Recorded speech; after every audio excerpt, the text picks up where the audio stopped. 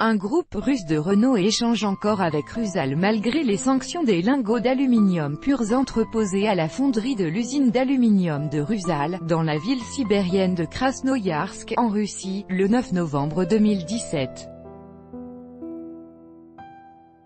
Reuters, Ilya Mushin le groupe russe Avtovaz, contrôlé par Renault, a reconnu continuer d'acheter de l'aluminium à Rusal, à entreprises russes visées par des sanctions américaines.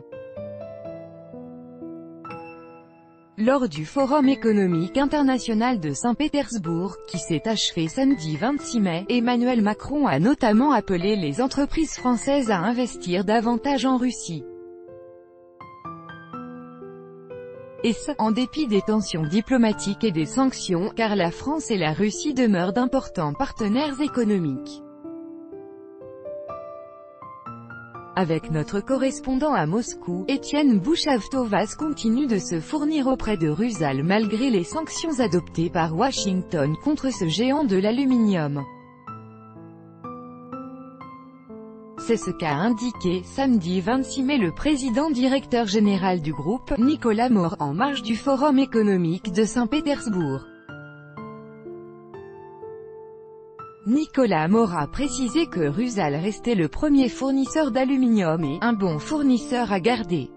Jusqu'à présent, Rusal nous livre, nous achetons, des propos rapportés par les agences de presse. Le groupe Avtovaz, leader russe de l'automobile, est contrôlé par Renault.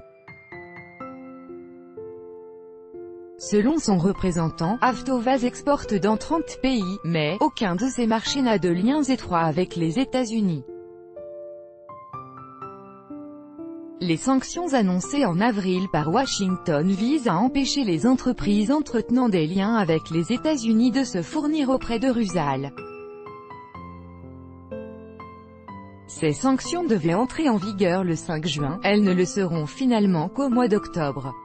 Pour l'heure, pas d'impact sérieux, donc, selon Nicolas Moore, mais le groupe anticipe et dit réfléchir à de potentiels nouveaux fournisseurs.